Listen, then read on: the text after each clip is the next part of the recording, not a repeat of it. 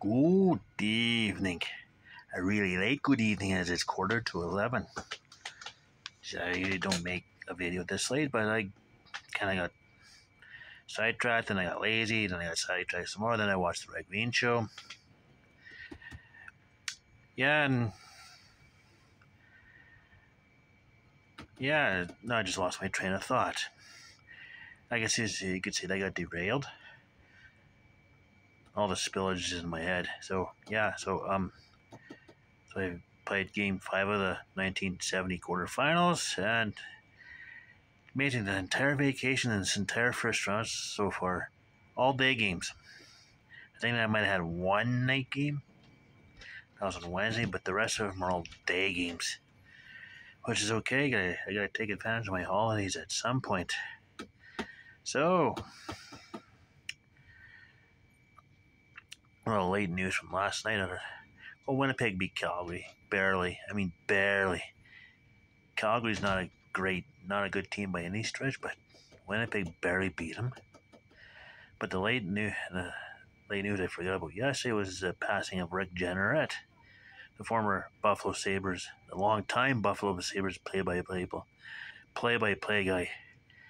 La la la la la la La Fontaine and Mayday Mayday and Wowie Housley. Energetic calls though. I mean, he knew he knew he got out of the game though quite easy. Was he was he a bit of a homer? Well, yeah. Well, he called the game with such energy. It was such a joy treat to listen to. The May the Mayday call was 1993 division semifinals between Boston and Buffalo. Sabres fans will remember this if they were around that long. Sabres were up three games to nothing in the series and they just needed one more win to take out Boston. So Boston had led most of the game. Boston go up, then Buffalo come back to tie it. Boston went up five to three. Buffalo managed to come back to tie it at five. The game goes into overtime. I forget how far into the overtime it goes, but LaFontaine has a puck around center as he's, just, as he's falling backwards. He's passing it to Bob, Bob May. Yeah, I think it's Bob May. May, May digs out Ray Bourque, and then he dig, digs out Andy Moog long enough for Moog can't do anything, and just May just shoots it over Andy Morgan into the net, and crowds crowds going crazy. Buffalo just knocks out Boston over in for a straight, and Rick Jeanneret's yelling, "Mayday, Mayday!" It should. It's on you. Some of his calls are on YouTube. Go look it up. Is there are some of his calls on YouTube? So yeah, so Jeanneret joined the Sabres in the 71-72 season, the second season. The thing is, their fifth season, they get to their first 70 Stanley Cup finals against Philadelphia. Lost in six. Yeah, the fog game. And then 1999, they lose in lose to Dallas. Yeah, I'm, I'm yeah, at the end of the season I'm doing now, league goes from 12 to 14, and then Buffalo's one of the teams. The other being Vancouver segueing into that, and 1970 quarterfinals, Boston is up 3 up 3 2 on the Rangers. St. Louis is up 3 2 on many. And as I mentioned, I'm finishing these quarterfinals on Sunday, which would be my last day of vacation, which is great. That's absolutely crazy how that how I ended up planning that.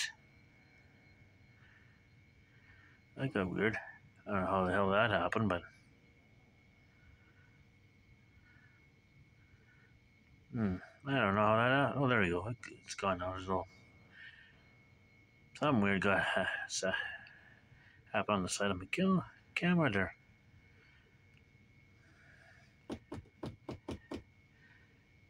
My vacation, I think, was started on the 11th, end on Sunday, which is the 20th. That's about two, four, six, eight, ten days. I started 1970 on the 12th. So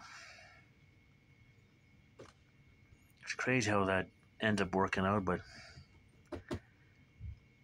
which means I start the semifinals on Tuesday. I'm gonna go Tuesday, Thursday, Saturday. Probably Monday for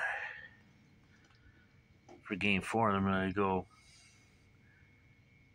Thursday, Saturday again, the 31st and the 2nd of September. There's a series go. There's a semifinals. One series goes four, and the other goes six, which helps.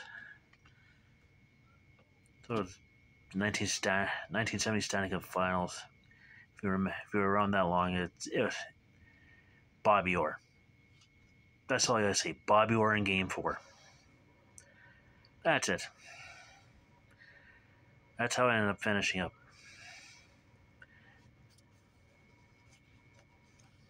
That game four was pretty close. I don't know how the close the rest of the series was games wise, but Boston still ended up sweeping St. Louis.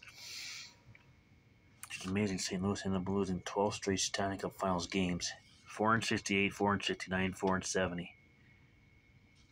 They don't make the Stanley Cup Finals again until 2019 and end up winning it.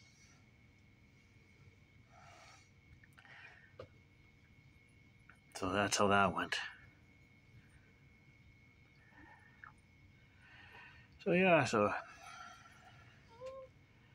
in amongst all that, I went to Shoppers Drug Mart, got myself my veggie lasagna, my favorite lasagna, and I and it, well, my favorite lasagna. I have to go to Shoppers to get it. I mean, Walmart's got lasagnas. It's just shows how kind of fussy I am with my lasagnas, I suppose. So that's how that went. So no, I did not go to Mr. Mike's tonight because, because no.